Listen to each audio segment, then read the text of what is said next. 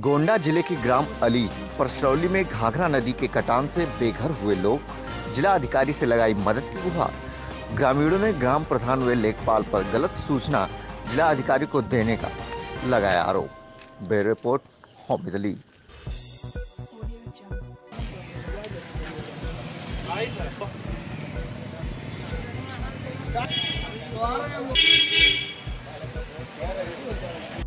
मैं हामिद अली, आप देख रहे हैं आज की चार लाइव न्यूज़ 18 गोंडा से। गोंडा में इस वक्त मैं जिला पंचायत कार्यालय गोंडा के सामने खड़ा हूँ। वहाँ पे कुछ लोग आइली परसौली थाना उमरी बेगमगंज, जनपद गोंडा, ब्लॉक बेलसर तहसील तरफगंज से कुछ लोग आए हुए हैं, दिखाई पड़ रहे हैं आपको। यहाँ से देखिए, भारी संख्या में महिलाएँ हैं, ये बाढ़ पीड़ित हैं, इनका कहना है कि हम बाढ़ पीड़ित हैं, हमको लाभ नहीं मिला गया, मिला मिला मिला है किसी प्रकार से, जो हमारा घर भी बह गया है, और ऐसा ही इनका इनका लोग का कहना है। यहाँ पे एक, वहीं पे हैं, वहीं के रहने वाले हैं आइली परसौली के विजय सिंह, इनसे जाने की कोशिश करेंगे, और ये बताएँ क्योंकि ये पूर्व सैनिक भी हैं, और कारगिल युद्ध में सम्मानित इनको किया गया था। इन्होंने अच्छा मतलब या फिर उसके बाद ये पैर में इनको चोट भी आ गई थी, इसी वजह से सम्मानित किया गया था। ये क्या बता रहे हैं वो अपनी गाँव की समस्या लेकर के और कई लोगों को लेके आए हैं, ट्राली पे आए हैं, इसे जाने की कोशिश करेंगे। हाँ विजय सिंह, बताइए। हमारा गाँव अली परसौली है, वहाँ हमारे गाँव में कटान घाघरा नदी का है और बहुत लगभग सौ सवा सौ घर समाहित हो चुके हैं। कोई अधिकारी वहाँ तक जाता नहीं है, जो कुछ बंटने के लिए भी जाता है लोग जो जिनका मकान नहीं कटा है, वो लोग पा जाते हैं, जिनका मकान कटा है, वो कुछ भी नहीं पाए हैं आज तक। यहाँ तक कि उनको जो गठरी, चना, दाल, ये सब हेन तेन मिलता है, ये भी आज तक नहीं मिला है उनको। अभी योगी आदित्यनाथ जी आए थे, उनका दौरा था बाढ़ पीड़ित क्षेत्रों में, बाढ़ ग्रस्त एरिया में, दौरा हुआ उनका, और ये बाबा मिठिया में गए, और कुछ लोगों को राहत किट भी बांटी गई है, क्या इनको लोग को नहीं मिली? राहत किट उनको दी गई है जिनका घर नहीं कटा था। और जिनका घर कटा है, उनको एक लोग कोई साबित कर दे तो जो कहो मैं वो हार जाऊँ। जिनका घर कटा है, उनको कुछ नहीं मिला है। जिनका घर नहीं कटा है, वो लोगों के चहेते हैं, लेखपाल के चहेते हैं, प्रधान के चहेते हैं। वो आकर के यहाँ पर बाबा मठ में उनको गठरी दी गई है। बाद में भी गठरी दी गई है, लेकिन जिनका आवास नदी में विलीन हो चुका है, उनको आज तक कुछ नहीं मिला है। ना कोई अधिकारी मौके तक जाता है। कि अधिकारी अगर जाता भी है तो केवल पंचायत भवन तक जाता है बस। जिला अधिकारी या जो भी हैं उसके संबंधित अधिकारी है या एसडीएम सब दौड़ा कर रहे हैं तो ये लोग दौड़ा कहाँ कर रहे हैं? दौड़े पर सारे अधिकारी जाते हैं बस सिर्फ़ केवल बंधे तक जाते हैं बंधे पर अपना घूमे टहले वहीं के जो चाटूखोर लोग हैं उन्होंने बता दिया साहब वो देखा जाए आगे गन्ना लगा है खेती है अच्छी है मूजा लगा है जंगल लगा है उसको दिखा देते हैं अधिकारी वहीं से चाय पी कर लौट आते हैं। मांग क्या है अभी इसके जिला मांग ये है जिलाधिकारी से कि जिनका आवास नदी में विलीन हो चुका है उनके पास ज़मीन नहीं है उनको दो बिस्सा पाँच बिस्सा आठ बिस्सा आवास ये दिया जाए दिया जाए और जो सरकारी अनुदान मिलता है उनके हाथ तक पहुँचे उनके पास तक पहुँचे। बस मांग यही दो चीज़ की है। एक तो आवासीय पट्टा बहुत लोग ऐसे हैं जिनकी कॉलोनी मिली थी वो कॉलोनी नदी में गिर चुकी है उनको दोबारा कॉलोनी मिलनी चाहिए। बहुत लोग ऐसे हैं जिनको कॉलोनी मिलनी चाहिए था, आज तक नहीं मिला है, उनको कॉलोनी मिलना चाहिए।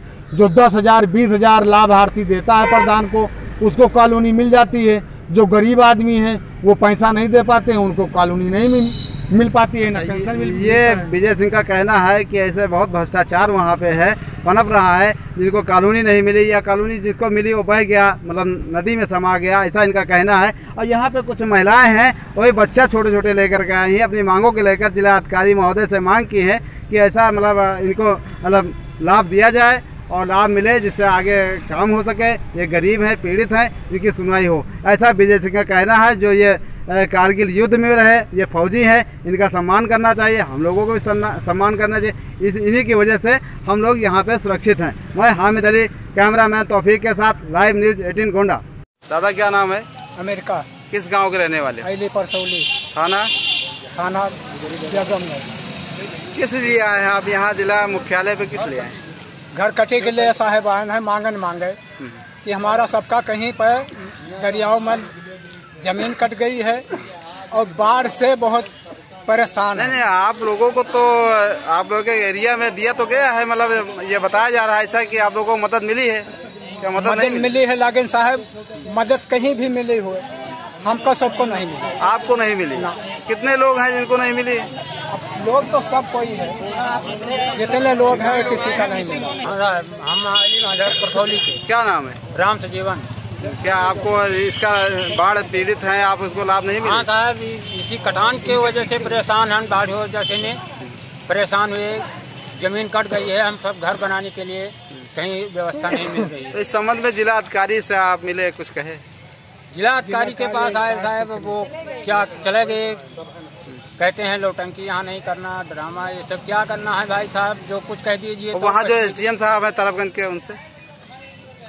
कोई कोई सुनवाई नहीं है क्या नाम है आपका? विमला क्या समस्या है? समस्या है साहब घर द्वार सब नदी में कट गया।